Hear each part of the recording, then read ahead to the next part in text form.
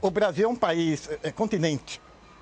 Também a questão do negro fragmentado em Nordeste, Sul, Sudeste, ele vai, vai trazer as marcas dessa presença num país onde a mistura seja maior, como aqui, num país, não, num, num, num estado, por exemplo, São Paulo.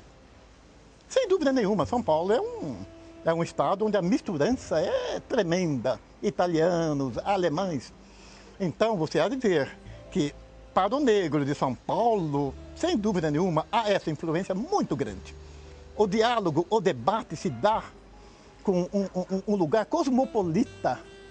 Então, nesta altura, por exemplo, não é de admirar que num conto, num conto, num poema de um autor negro que quer falar em identidade, muitas vezes ele intrometa até a, a perspectiva de um diálogo, de estar frente a frente com uma pessoa de origem como eu tenho. Nos meus contos aparecem, eu sou chofer de um holandês.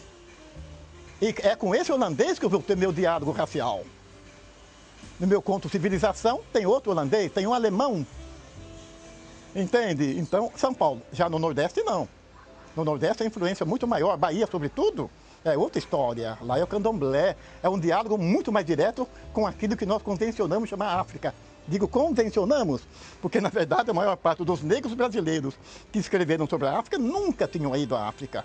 A ida à África começou há 20, 30 anos. Então a nossa África, a minha África, o meu poema que eu grito, ó oh, África, ó oh, África, é uma África um tanto mítica. Mas ela é real para mim. E, outra coisa, a África que nos passaram foi aquela África dos missionários, a África dos leões, a África do Tarzan. E para você rebater isto, é uma, é uma, é uma luta muito grande.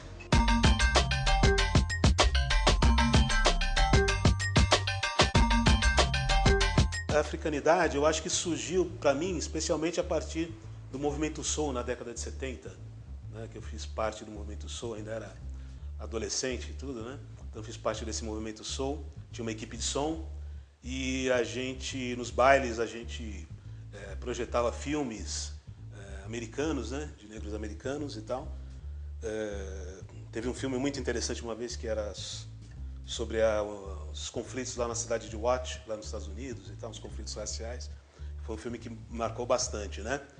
E além disso, a gente tinha umas reuniões aqui no Viaduto do Chá, aqui na IFE, é, no Viaduto do Chá, né? Toda sexta-feira tinha lá um, um ponto de encontro dos afro-brasileiros lá. E aí a gente discutia muita coisa, muita gente trazia muita informação, um trazia um jornal, outro trazia uma revista, né? Então a gente começava a ter informação das, dos movimentos de libertação da África, né?